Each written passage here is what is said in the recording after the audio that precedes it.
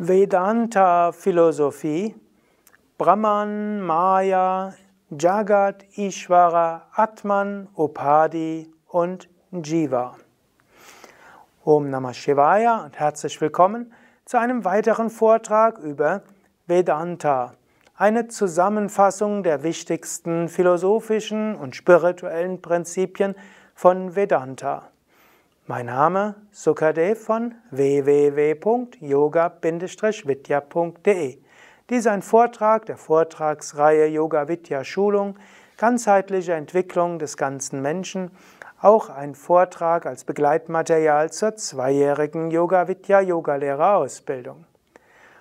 Heute also die Wiederholung von Vedanta. Solche Wiederholungen wirst du im Laufe der zwei Jahre immer wieder hören oder auch im Verlauf dieser Yoga Vidya Schulung, sodass du hoffentlich immer tiefer diese Prinzipien verstehst und dir auch bewusst machst, dass nicht nur theoretische Konzepte, sondern das ist das, was von einer höheren Wirklichkeit eine Weise ist, Welt zu beschreiben. Brahman, das Absolute. Vedanta sagt, es gibt eine höhere Wirklichkeit. Brahma Satyam. Brahman allein ist wirklich. Ein unendliches Bewusstsein. Prajnanam Brahman. Bewusstsein ist Brahman. Es gibt ein unendliches Bewusstsein. Und dieses Bewusstsein allein ist. Dieses Bewusstsein ist allein jenseits von Zeit und Raum, immer schon da, ist und wird immer sein. Daher ist es Sat, S-A-T, reines Sein, unbegrenztes Sein, unabhängig von Zeit, unabhängig von Raum. Dieses Brahman ist Chit, Chit, Bewusstsein. Es ist nicht nur einfach da, sondern es ist bewusst. Bewusstsein an sich, nicht Bewusstsein von etwas, sondern Bewusstsein an sich. Und dieses Bewusstsein ist Ananda, Freude. Es ist nicht einfach nur ein abstraktes Bewusstsein, sondern unendliche Glückseligkeit, reine Freude, Ananda. Aus diesem Brahman heraus entsteht Maya. Maya, Täuschung und Illusion. Täuschung ist nichts anderes als Brahman. Brahman projiziert aus sich selbst eine Täuschung und durch diese Täuschung entsteht Jagat. Jagat ist dann das manifeste Universum. Das manifeste Universum ist aber jetzt kein wirklich existierendes Universum. Es ist immer Maya. Ich könnte sagen, ähnlich wie ein Traum.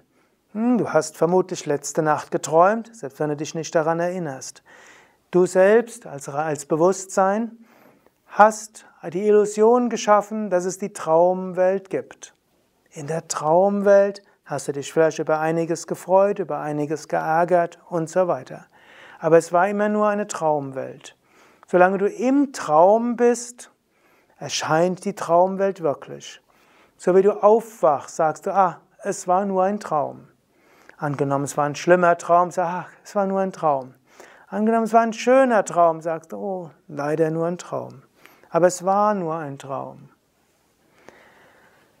Die Intelligenz dann, die sich manifestiert als Intelligenz hinter dem Universum Jagat, ist Ishvara.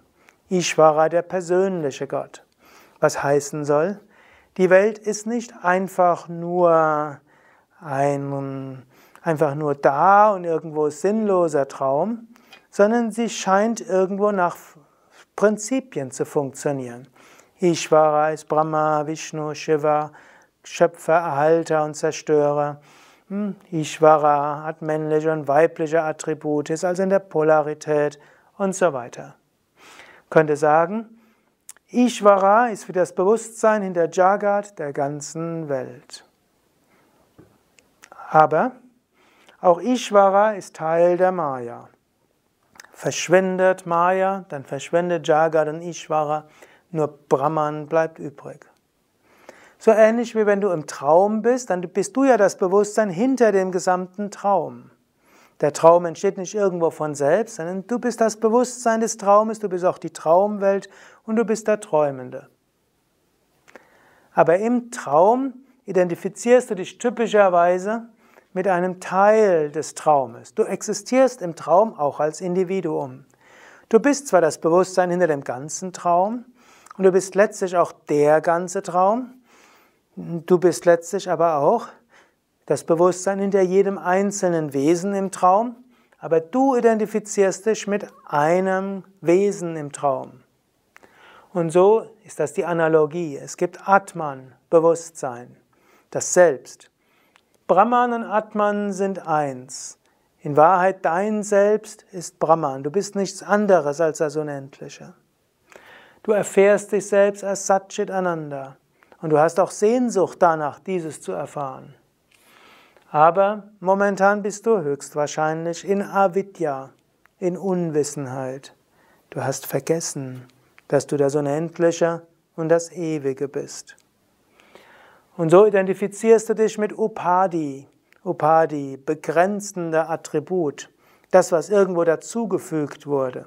Ich könnte auch sagen, die Kapa oder auch die Hüllen, Shariras und Koshas. Also letztlich Teile von Jagat. Du hast selbst die ganze Welt geträumt und jetzt identifizierst du dich mit einem Teil dieses Traumes. Und so denkst du, du bist ein Individuum, ein Jiva. Als Individuum, als Jiva hast du Sehnsucht danach, dich wieder als, dein, als dich selbst zu erfahren. Denn wenn Jiva sich identifiziert mit Upadi, also einem Körper, einer Psyche, einem Charakter, einem Temperament, Persönlichkeit, mit Karma, Aufgaben, Beziehungen und so weiter. Dann weiß Jiva irgendwo, das ist nicht okay, das ist nicht ausreichend. Wenn du weißt, die bist unendlich und ewig, bist du nicht zufrieden mit einem kleinen Körper und Psyche. Vielleicht kompensierst du das und willst dann eben größer sein. Du willst mehr Geld haben, mehr Macht haben und so weiter. Willst vielleicht mehr reisen, aber das reicht nicht aus. Jiva will sich wieder als Atman, als Brahman erfahren. Du hast als Jiva ein beschränktes Wissen. Du siehst etwas in der Welt. Du willst mehr herausfinden. Du fragst, wer bin ich? Woher komme ich? Wohin gehe ich? Was ist der Sinn des Ganzen? Was ist die Welt? Gibt es eine höhere Wirklichkeit? Chit, dein individuelles Bewusstsein, Jiva, will reines Bewusstsein erfahren. Diese Suche erwacht. Aber in der Welt selbst gibt es keine Antworten darauf. In der Welt selbst wirst du nie herausfinden, wer du wirklich bist. Solange du in der Welt bist, wirst du nie herausfinden, was die Welt wirklich ist. Es gilt dort herauszukommen, dich zu erfahren als Atman. Dann sind alle Antworten da. Als Jiva hast du Sehnsucht nach unendlichem Ananda, unendlicher Freude. Denn du weißt, Anandoham, ich bin Freude. Es ist nicht okay, begrenzte Freude zu haben. Es ist nicht okay, in der Vergänglichkeit zu sein. Es ist nicht okay, mal Höhen und Tiefen zu haben. Intuitiv weißt du, ich bin unsterbliches Selbst, reine Freude. Und diese Sehnsucht erwacht.